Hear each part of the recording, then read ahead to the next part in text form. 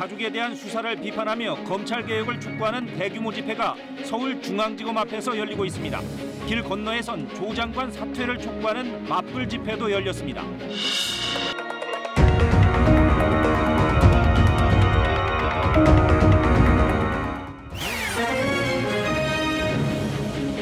어제 서울중앙지검 앞에서 열린 검찰개혁 촉구 문화제가 국정농단 사건 이후 최대 규모 집회로 마무리됐습니다. 당분간 매주 토요일 집회가 예정된 가운데 반정부 집회도 예고됐습니다.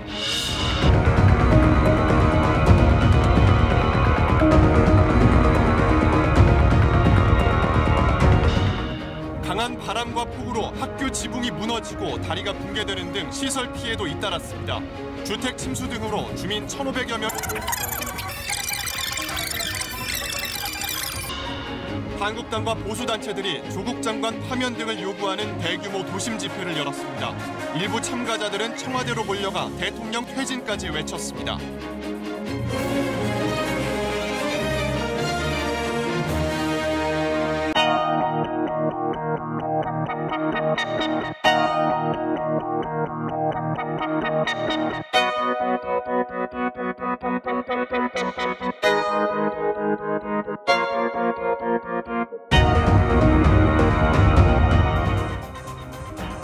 검찰 개혁을 요구하는 촛불 집회가 이 시각 서울중앙지검 앞에서 열리고 있습니다.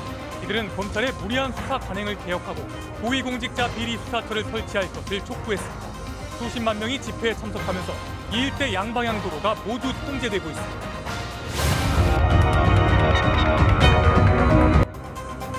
했던 검찰 개혁 촛불 집회를 두고 청와대와 검찰, 여야 정치권이 각각 입장을 내놓고 공방을 벌였습니다. 정부 여당은 국민의 뜻이 확인됐다며 검찰 개혁 의지를 강조했고 야당들은 대통령이 국민을 편가르고 있고 집회 규모가 부풀려졌다고 주장했습니다. 서울중앙지검 앞 왕복 8차선 도로를 촛불을 든 시민들이 가득 메웠습니다. 서울 서초동 대검찰청과 서울중앙지검 사이 약 7, 800m 도로를 가득 메운 촛불 시민들은 검찰 개혁과 조국 수호를 외쳤습니다. 특히 조국 장관 가족에 대한 검찰 수사가 정치적 성격을 띠고 있다며 중단을 촉구했고 공직자 비리 수사처 설치와 검찰 특수부 폐지 등 검찰 개혁이 필요하다고 목소리를 높였습니다.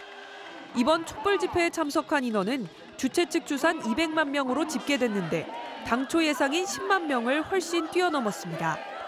집회 참석 인원이 늘면서 원래 예정됐던 일대 행진은 취소됐고 서초역 사거리 일대 교통이 전면 통제됐습니다.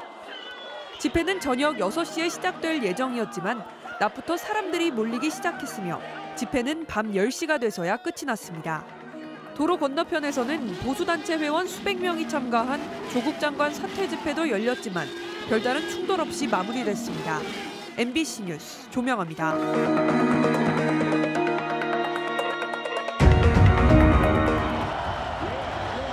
광화문 일대가 태극기와 성조기 물결로 가득 찼습니다.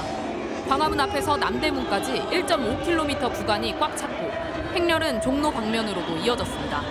세종문화회관 앞에서 열린 자유한국당 집회와 우리공화당 집회, 보수 기독교 단체가 주관하는 집회 등이 합쳐지면서 대규모 인파가 몰린 겁니다. 아버지여 문재인이가 끌려 나올 때까지 하나님 우리를 믿어주시고 지방에서도 관광버스를 타고 참가자들이 올라오면서 광화문 주변 이면 도로는 대형 버스들의 주차장으로 변했습니다.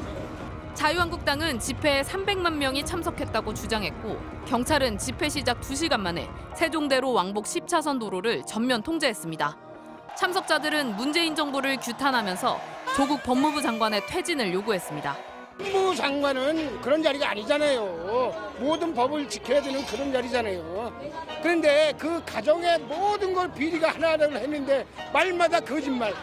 단상에 오른 홍준표 전 자유한국당 대표는 문재인 대통령을 탄핵해야 한다며 탄핵 결정문을 낭독했습니다. 국민의 이름으로 주문과 같이 판결한다. 비천고인 대통령 문재인을 파면한다. 여러 단체가 동시에 집회를 진행하다 보니 소음이 뒤섞이면서 한때 집회가 중단되는 일도 벌어졌습니다.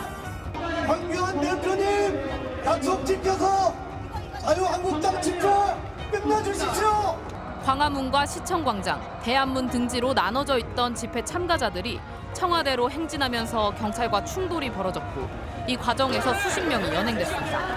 이런 가운데 전국 대학생 연합은 오늘 처음으로 서울 마로니에 공원에서 조국 장관의 사퇴를 촉구하는 연합 집회를 열었습니다. MBC 뉴스 조영입니다.